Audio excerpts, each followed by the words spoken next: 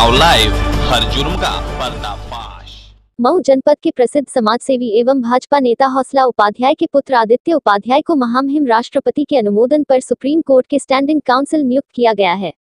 Supreme court का standing council नियुक्त होने पर आदित्य उपाध्याय को लोक कल्याण सेवा न्यास एवं जनपद के समाज सेवियों द्वारा अंग, वस्त्र एवं स्मृति चिन्ह देकर सम्मानित किया गया।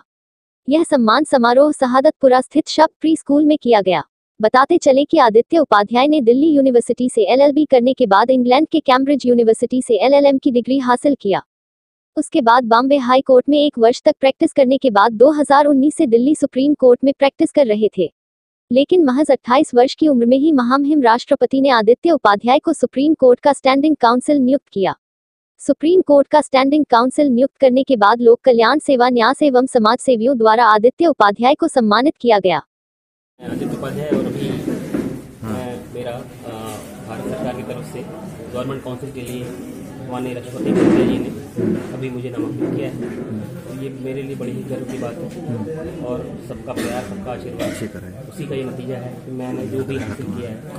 वो उनके ही शुभेच्छाओं का असर है। मैं यहाँ पे उपस्थित लोक कल्याण न्यास परिवार के सभी सदस्यों का हार्दिक आभार व्यक्त करता हूँ कि उनके उन्होंने मुझे इस लायक समझा और उन्होंने मुझे इतनी शुभेच्छाएँ दी जो आज फलीभूत हो रही हैं।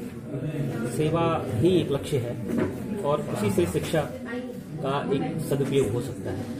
तो ये एक अच्छा मंच है और आगे यही कोशिश रहेगी कि जो कल्याण न्यास के ही माध्यम से हम लोग जो समाज में वंचित वर्ग हैं जो कि शायद न्यायालय तक नहीं पहुँच पाता है, उस तक पहुँचने की हम कोशिश करेंगे। और इसमें एक आगे भी एक योजना बनेगी इस तरह की, जैसे कि क्योंकि लिटिगेशन जो होता है, जो न्याय में, न्यायालय में मुकदमे चल रहे होते हैं, उनमें अधिकतर जो मुकदमे हैं, अस्सी परसेंट से ऊपर जो है, वो ग्रामीण क्षेत्रों में हैं। या फिर ऐसी जगहों से जो कि लोग, जिनके लिए जो लीगल एड सर्विसेज़ हैं, वो इतनी आसानी से उपलब्ध नहीं है।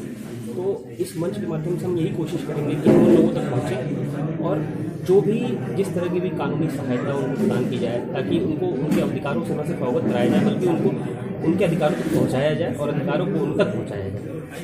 आज श्री आदित्य उपाध्याय जी, जो भारत सरकार द्वारा सुप्रीम कोर्ट की स्टैंडिंग काउंसिल नियुक्त किए गए हैं, उन्होंने मात्र 28 वर्ष की अवस्था में यह उपलब्धि हासिल की है।